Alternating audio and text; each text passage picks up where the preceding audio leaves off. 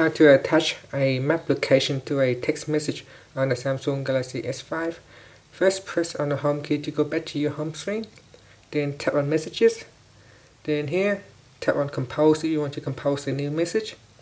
Then put in the recipient's phone number and in the message body tap on the attach or tap on the paperclip icon on the left. From the attach pop-up tap on maps in maps you need to put in the address where you want to go to. For example if I put in uh, Sydney.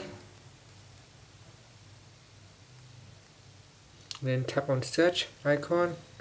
That will take me to Sydney. You can see it right there. Now I just tap on done and this will automatically attach the location to my text message.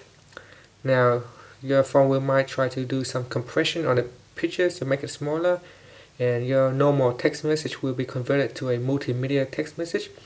And this will essentially means that you will need to pay a little bit more for your multimedia text message.